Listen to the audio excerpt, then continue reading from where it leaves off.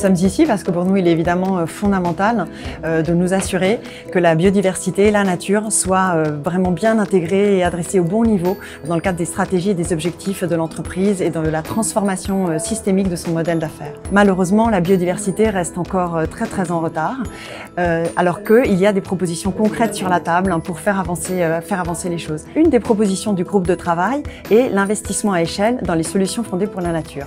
Le WWF soutient cette idée. Il est en effet indispensable que les entreprises investissent dans des solutions forêt, par exemple, pour le climat, ou euh, des solutions basées sur les écosystèmes, qui sont des phénoménaux puits carbone. La situation est dramatique. Nous avons perdu en France 50% euh, des puits de carbone forestiers en 10 ans. Aujourd'hui, les outils, les instruments et les métriques existent.